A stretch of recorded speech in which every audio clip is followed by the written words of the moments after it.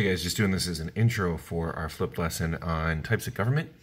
Um, so for your bell ringer for today, which is going to pop up as a question uh, just below this video, you're going to be asked, what type of government do you think the United States has? No right or wrong answers. I mean, there is a right answer, but just trying to see where you um, are thinking. And then we're going to, uh, you're going to have the opportunity to explore the different types of government um, in order to answer a couple of questions. Um, first, you're going to look at um, identifying three types of government, um, and I'm going to get more specific than just the five that I'm about to mention and have you uh, do a quick bit of research on those. Tell me about three of them, what you think about them, uh, the main characteristics, and give an example. And then um, you're going to look at, out of all the government forms that you looked up, democracy, uh, republic, dictatorship, monarchy, theocracy, anarchy, communism, and oligarchy. Which do you think would be the best form of government and why? And make sure to compare and contrast them um, in your answer. And so when it comes to the five basics, uh, we look at monarchy, which is ruled by the one.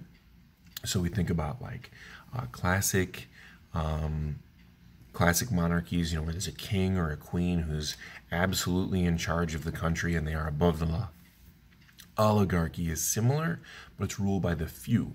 So there's a group of people that are actually in charge, um, and same kind of thing. They can be above the law. They get to make the decisions, and things go the way that they say they want them to go.